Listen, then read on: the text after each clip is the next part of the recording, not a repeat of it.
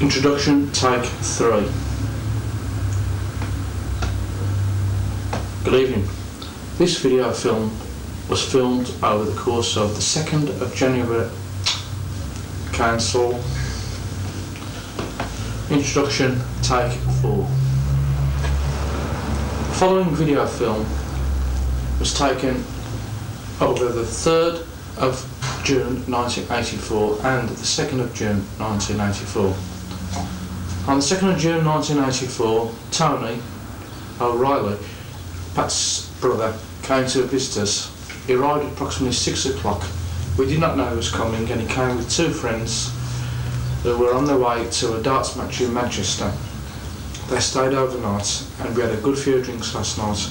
Pat got exceedingly drunk as usual and um, I took us to bed as usual and it was about four o'clock by the time all that was over.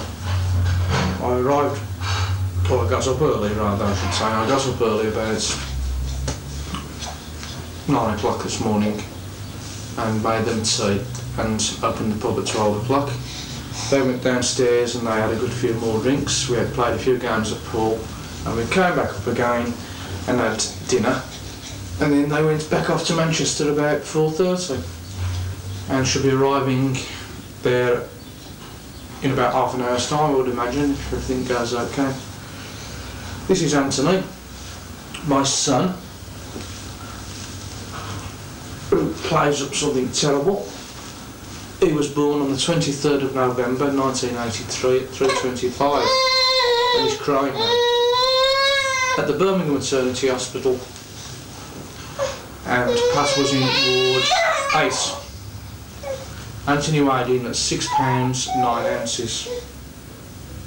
My first son.